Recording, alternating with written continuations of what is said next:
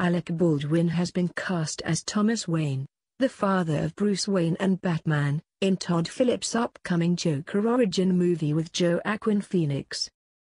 Deadline first reported the casting Monday with filming slated to begin on September 10. Warner Brothers has not confirmed the news yet. Thomas Wayne is a wealthy doctor and philanthropist in Gotham City.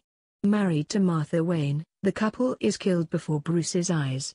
Bruce later becomes Batman, dedicating himself to being a vigilante and to clean up Gotham of the suspicious and cowardly lot that wreak havoc on the city.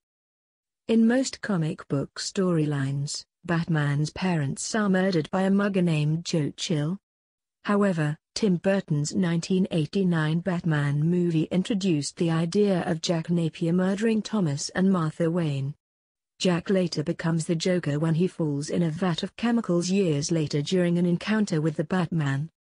Phillips' take on Thomas Wayne is expected to divert drastically from the respected man we know.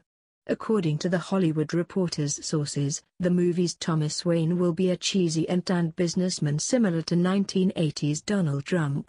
Considering that Baldwin has been playing Trump on Saturday Night Live, he should be comfortable with the role.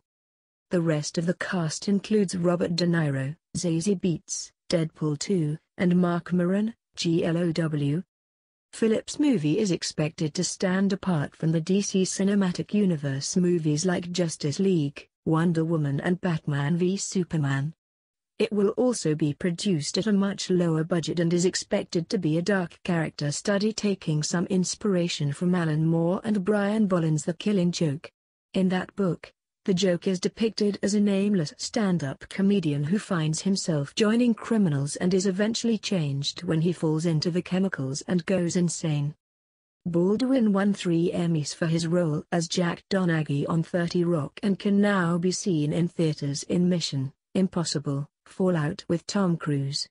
His next film is Motherless Brooklyn, a new crime drama being produced by Warner Brothers. Phoenix will be the first actor playing the Joker since Heath Ledger gave his Oscar-winning performance in The Dark Knight a decade ago. In a recent interview, Phoenix said he did not care about fan expectations. I could care less. I don't really think that much about what people think, he told IndieWire. Who cares? Who cares? My approach to every movie is the same. What I'm interested in is the filmmaker and the idea of the character.